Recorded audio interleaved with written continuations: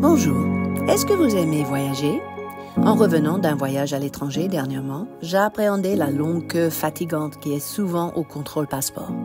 À mon avis, c'est la partie la plus désagréable du voyage. Mais j'avais décidé de mettre mes baskets afin de pouvoir courir dès que je descends de l'avion et arriver rapidement pour faire tamponner mon passeport. Je priais en langue tout le long du chemin. À ma grande surprise, au lieu d'être la millième personne dans la queue, j'étais la cinquième. Là, le Saint-Esprit m'a soufflé. Tu as découvert ce que veut dire être positionné pour l'impossible. Je dirais que j'ai vécu un miracle. Heureusement, on ne chemine pas seul sur cette terre. Bon, d'accord, j'étais un peu essoufflé et en sueur en arrivant au comptoir, mais par la grâce de Dieu, j'avais atteint mon objectif, ne pas perdre mon temps dans les queues interminables. Quel est votre objectif? Quelle est votre mission dans la vie? Quel est l'appel de Dieu sur vous? J'ai découvert que chaque fois que Dieu dit à quelqu'un ⁇ Je serai avec toi ⁇ ce n'était pas seulement pour consoler ou rassurer la personne, en fait ça signifiait qu'il avait un mandat très particulier, voire impossible, humainement parlant en tout cas. Je vous donne quelques exemples. Isaac est positionné pour l'impossible, pour prospérer dans une période de crise économique. Dans Genèse 26, 1 à 3, il y avait une famine dans le pays et l'Éternel lui apparut et dit, Séjourne ici, dans ce pays, je serai avec toi et je te bénirai. Moïse aussi était positionné pour l'impossible pour libérer le peuple d'Israël de l'esclavage en Égypte. Dieu lui dit dans Exode 3, 10 à 12, Tu feras sortir d'Égypte mon peuple, je serai avec toi. Et quand tu auras fait sortir d'Égypte ce peuple, vous servirez Dieu sur cette montagne. Josué aussi était positionné pour l'impossible, pour conduire ce même peuple à la terre promise malgré les géants et les villes fortifiées. Nous lisons dans Jésus 1, verset 5, Je serai avec toi comme j'étais avec Moïse. Je ne te délaisserai point, je ne t'abandonnerai point. Il était prêt à accomplir l'impossible avec ce peuple.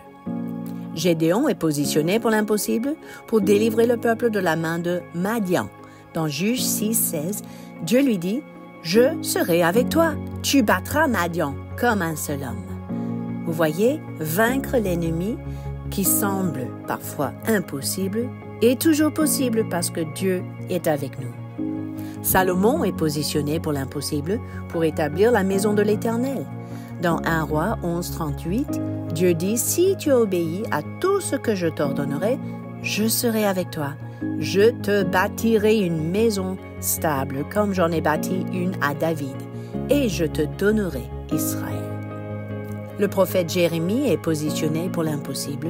Il a dû faire face à beaucoup d'opposition pour exercer son ministère. Ça vous est déjà arrivé?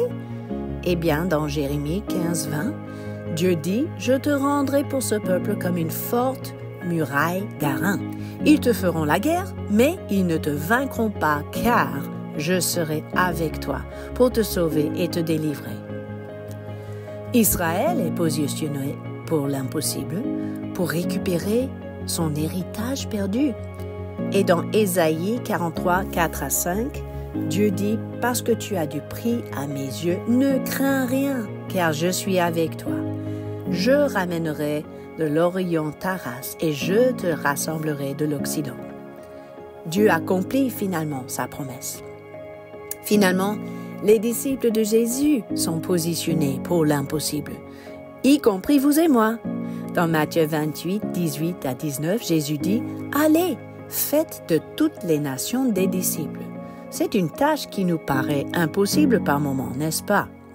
Mais écoute la fin de la phrase. Voici, je suis avec vous tous les jours, jusqu'à la fin du monde. Vous savez, la même parole donnée au peuple d'Israël retentit dans mon cœur pour vous ce matin, dans Ésaïe 43, 1 à 2. Dieu dit ceci. Ne crains rien, car je te rachète. Je t'appelle par ton nom. Tu es à moi. Si tu traverses les eaux, je serai avec toi et les fleuves, ils ne te submergeront point. Si tu marches dans le feu, tu ne brûleras pas, et la flamme ne t'embrasera pas. Comme les amis de Daniel dans la fournaise, n'est-ce pas? Jésus lui-même était avec eux, tout comme il est avec vous. Vous êtes positionnés pour l'impossible. Attendez-vous à des miracles, parce que Dieu est avec vous jour après jour.